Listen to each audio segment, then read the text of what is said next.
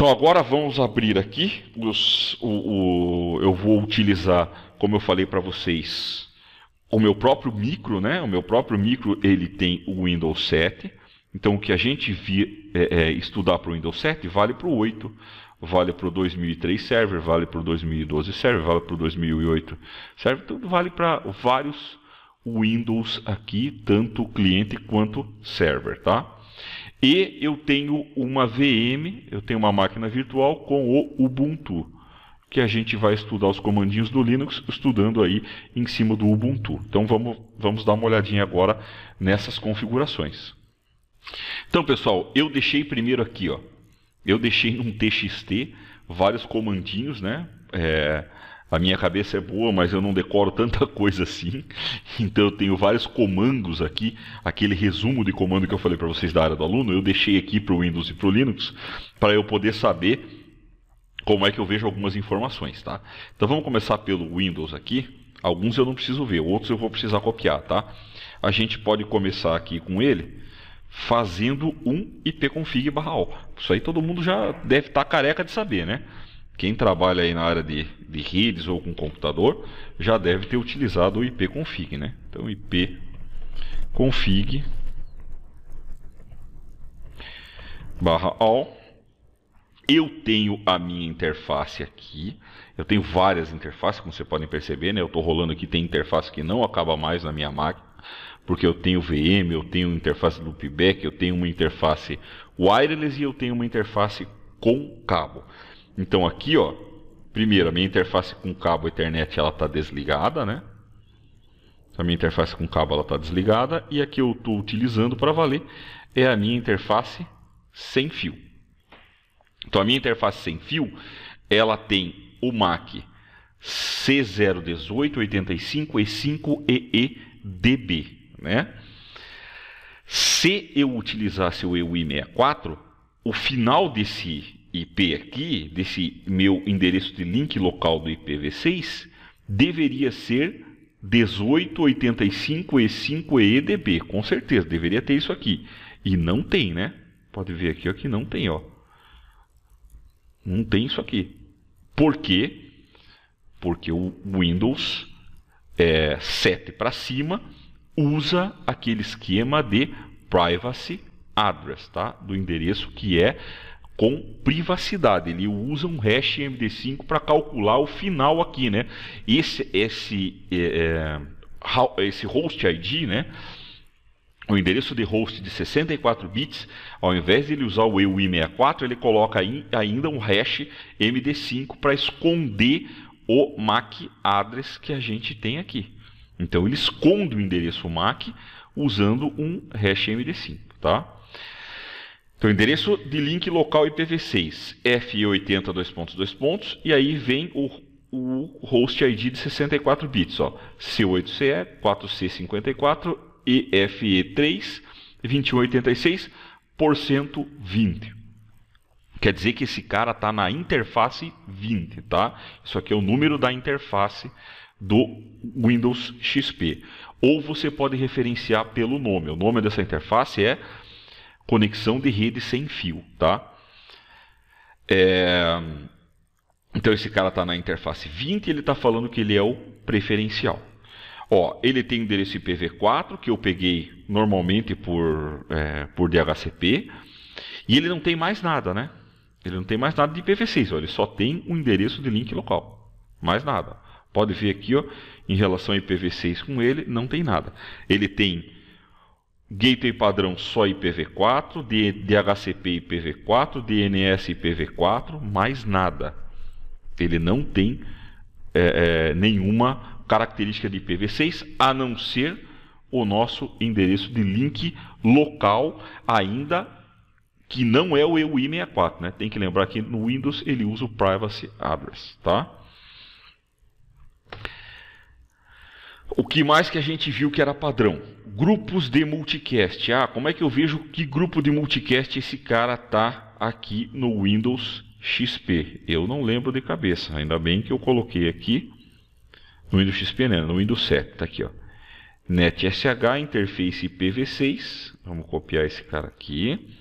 Eu vou colar ele aqui no Notepad, porque o Word e o Office normalmente eles colocam algum lixinho, né?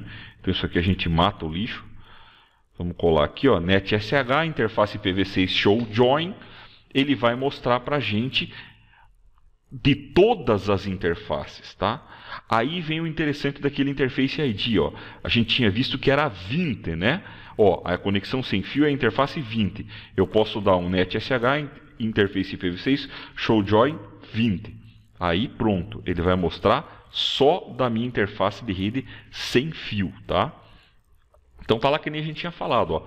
FF01 2.2.1, FF02 2.2.1, o 2C, FF0213 e ó, aqui ó, o solicited node desse cara aqui, ó. FF02 dois pontos, dois pontos 1, dois pontos FF. Sempre vai ter esse começo aqui, ó, o solicited node, tá? Sempre ele vai ter esse comecinho. E esse resto aqui ele tira da onde? Ele tira do IPv6 que está configurado, ó. Se a gente der um IP, a gente já fez um IP config, né? Vamos ver aqui, ó. Tá aqui a nossa interfacezinha sem fio, sem fio, sem fio, sem fio, sem fio, sem fio. Ah, ela apagou. Então tá, vamos dar um IP config sem o barra O para ficar mais fácil. Cadê a nossa interface sem fio? Tá aqui ela, ó. F80, C8CE ou finalzinho? E3 2186, tá? Se a gente fizer de novo o comando para mostrar o join, ó, E3 2186. Então, os últimos é, 24 bits são pegos a partir do endereço que você está solicitando. Né? Então, como ele só tem esse endereço, ele criou um solicited node só para o é, endereço de link local. Se você colocar o um endereço de link global, ele vai inserir o solicited node para o endereço de link global também. Tá? As configurações do IPv6 no Windows é, 7, ela pode ser feita por aqui, né? Pelo é, central de compartilhamento e rede. A gente pode clicar aqui na conexão de rede sem fio, propriedades. A gente pode clicar aqui ó, no endereço TCP/IP versão 6 e dar um propriedades nela, ó eu posso colocar aqui o endereço IPv6 fixo que eu quero e eu posso configurar o DNS e ainda tenho configurações avançadas, né? Se eu quiser colocar o gateway e tudo mais aqui ou outros servidores DNS, né? A gente pode utilizar aqui é, nessa placa de rede. Então ela permite que a gente obtenha o endereço automaticamente, que é o padrão ou configure um IPv6 manualmente por aqui. Eu posso configurar também com aquele comando do NetSH, tá? O NetSH permite que a gente configure. Se você quiser ter mais de um IPv6 na tua placa de rede, você pode usar o comando do NetSH e ir inserindo vários comandos, vários é, é, IPv6 dentro da tua máquina, tá? Aqui, para testar se o IPv6 está ativo, ping menos 6, 2.2.1. Está lá.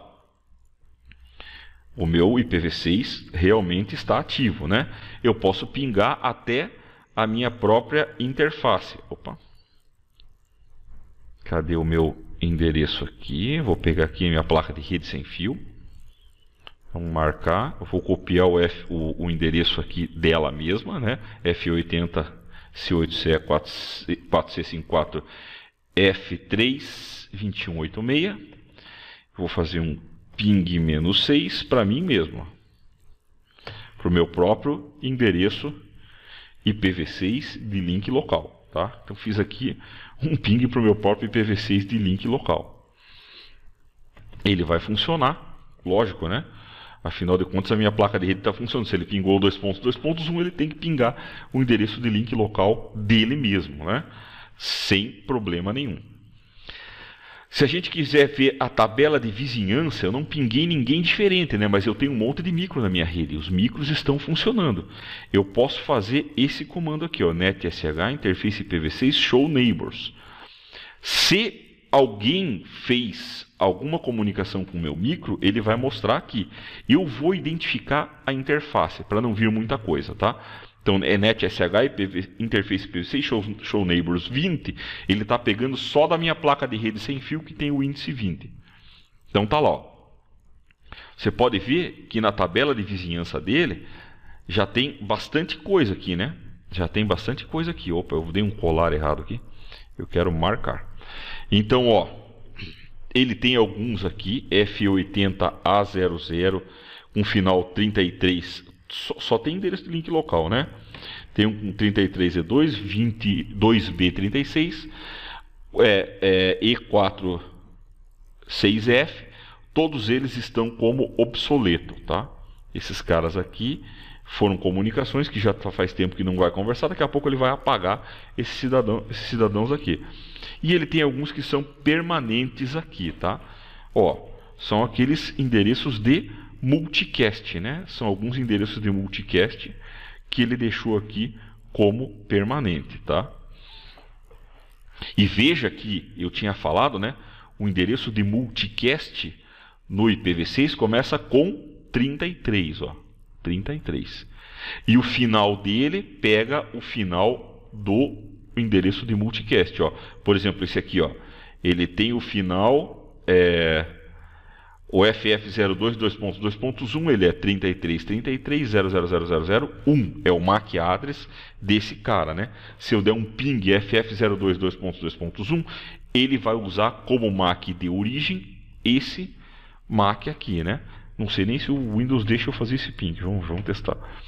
FF02 2.2.1 pingar todo mundo da rede, né? Aí ele deixa pingar.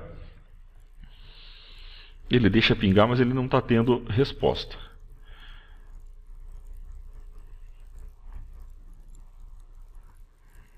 Eu posso pingar também os endereços de multicast, né? que nem eu fiz agora aqui. Tem como pingar, você pode pingar os endereços de multicast. Então, tá aqui. Característica é com o Windows 7 e os demais, né, o Windows 8, 2012, 2008 server, eles já vêm com IPv6 configurados esperando por um IP via DHCP, tá? Então se eu colocar um DHCP ou então um roteador com Slack, eles vão pegar IPv6, vão pegar DNS e vão tentar sair via IPv6, tá? Preferencialmente, normalmente o sistema operacional, tanto do Linux quanto do Windows, eles preferem a saída via IPv6 do que a saída via IPv4, tá? Agora vamos dar uma olhadinha nas mesmas características aqui do Linux. Eu vou abrir aqui minha VM, tá? Tá aqui minha VM. Para ver o IP no Linux é IP address show. Então eu tenho nesse cara uma interface loopback e a Ethernet 3, 4 e 5. Sendo aqui é o que eu estou utilizando é a Ethernet 3 eu coloquei aqui uma internet com bridge, tá? É, quer dizer o que? É como se ela fosse placa, um, uma placa de rede wireless aqui da minha máquina. Ela está pegando o IP 192.168.150 da rede e no IPv6 ela já tem aqui uma configuração, né? F80, 2.2 pontos, A00, 27FF, FE8B, 33E2. Olha o MAC address dela aqui, ó você vai ver que aqui está usando o EUI64, né? Ó, 00, é, 080027, ó. Aqui, ó, A0027 FEF é o primeiro, os dois bytes aqui que são inseridos, depois FE 8B33E2, aqui ó, 8B33E2. Então no meio aqui eles colocaram FF, depois FE, aí vem os três outros é, é, campos aqui, né, de, de hexadecimal. E no começo, o primeiro byte, que era 08, ele transforma o sétimo bit. Se é 1 é 0, se é 0 é 1, e ele acabou virando 10, tá? Ele acabou virando 10 ao invés de ser 08. Então, esse cara usa o EUI64 para formar o link local. Só que a gente vai ver que no link global não, aí ele vai utilizar o privacy address, tá? Ele vai é, ocultar o endereço com aquele esquema da privacidade. Eu posso fazer ping aqui também, eu posso fazer um monte de coisa no Linux também, né? Então, por exemplo, aqui, aqui a gente já tem uma. Vamos, vamos fazer o seguinte: primeiro, vamos pingar da máquina Windows para a máquina Linux. Vamos copiar aqui o endereço de link local. Vamos entrar aqui e fazer um ping. E vamos colar o endereço. Tá lá. Vamos pingar a máquina. Puxa, deu errado. Você vai ver que demora mais do que o ping do IPv4. Tá? O NDP é um pouquinho mais lerdo para funcionar. Ó, só no quarto envio de eco que ele pegou. Se eu mandar agora, ó, agora tá beleza. Tá? A gente pode fazer aqui um ping menos "-t", por exemplo, e deixar ele pingando. Ele está funcionando bonitinho. Então, só lá pelo quarto que ele vai funcionar, tá? Se eu fizer a mesma coisa aqui, ó, se a gente der um ipconfig, copiar o endereço da minha placa de rede sem fio, vamos copiar aqui, ó, e fizer no, no Linux é ping 6, colocar só menos C5 para ele dar 5 tentativas, né? Ele vai dar um erro, ó, invalid argument, tá? Por que, que ele dá um invalid argument? Porque esse F80 ele está ligado a um monte de interface. Então você tem que especificar em que interface você quer pingar. Então eu tenho que na frente aqui ó, dar um menos i maiúsculo ETH3. Agora ele vai fazer, ó, ó, porque eu especifiquei, ó, saia com esse ping pela interface Ethernet 3. Nos roteadores da Cisco acontece a mesma coisa quando a gente vai pingar a rede FE80, tá? Ele vai pedir para você por que interface você quer enviar aquele ping. Ele não vai deixar você enviar de cara. Mas agora ele deu certo, né? Ó, depois que eu falei por que interface ele tem que sair, o ping foi feito com sucesso, tá? Na tabela do NDP do da máquina Linux e da máquina Windows, tem que aparecer os endereços, né? Então vamos dar uma olhada aqui, ó. Eu já tinha visto a tabela do NDP, né? Tá aqui, ó, NetSH interface IPv6 show neighbors. O nosso MAC é, dessa máquina, ah, desculpa, o endereço link local aqui, ó, F80A00, ó, F80A00 apareceu aqui, né? Ele está aqui, ó. Com o MAC 080027 8B33E2. Se a gente ver aqui, ó, 080027 C1. Opa. Ah, é ETH4, tá aqui, ó, ETH3.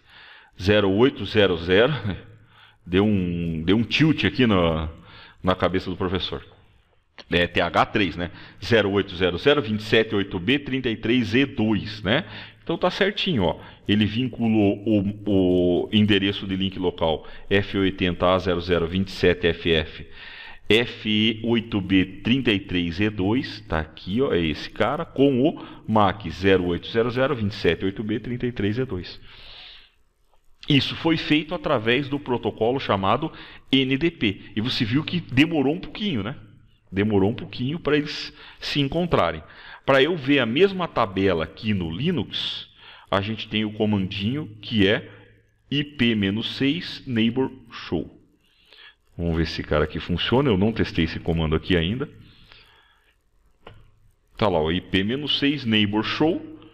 Ele nem mostrou esse vizinho para a gente aqui, né? Por quê? ip-6 neighbor show. Não vai mostrar? Vamos pingar de novo.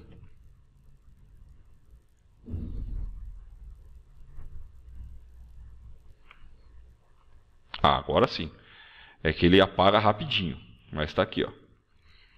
F80, C8CE, 4C54, vinculado ao MAC C018, 85E5 EEDB. Vamos fazer aqui, ó, um ipconfig barra all,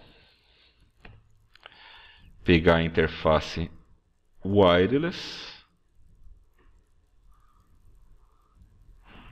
VMNet1, opa, tá aqui, nossa interface sem fio, né?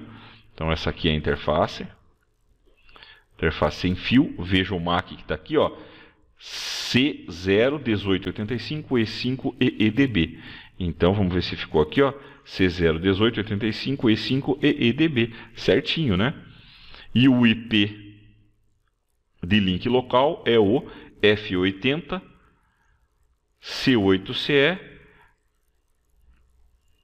4C54 e FE3 2186. Então tá aqui, ó, F80, C8CE 45, é, 4C54 e FE3 2186, vinculado com a interface 20 do meu computador. Então os dois estão se comunicando.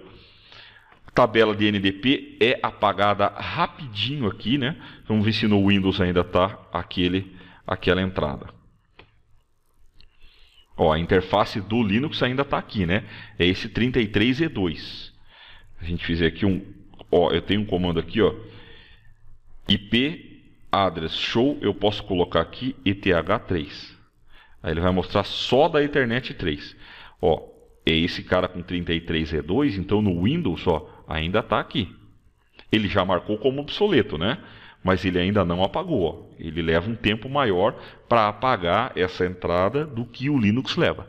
Então é isso aí, se você gostou desse vídeo, não esquece de dar um gostei, eu curti, dar um like e também, se você estiver aqui no YouTube, não esquece de assinar o nosso canal. Em algum lugar aqui tem uma logo da DLTech, onde você pode clicar em cima e assinar o canal. Aí você vai virar um subscriber, um assinante do canal e sempre que tiver uma novidade você vai receber um aviso e vai poder assistir. Se você está no Facebook, em cima do vídeo vai ter a nossa fanpage, o link da página oficial da DLTech no Facebook. Clica lá, curta a nossa fanpage, que ela também é atualizada sempre com os novos conteúdos bem legais e você vai poder também ser avisado por lá quando a gente lançar alguma novidade. Então é isso aí, pessoal. Um grande abraço e a gente se vê num próximo vídeo. Até mais.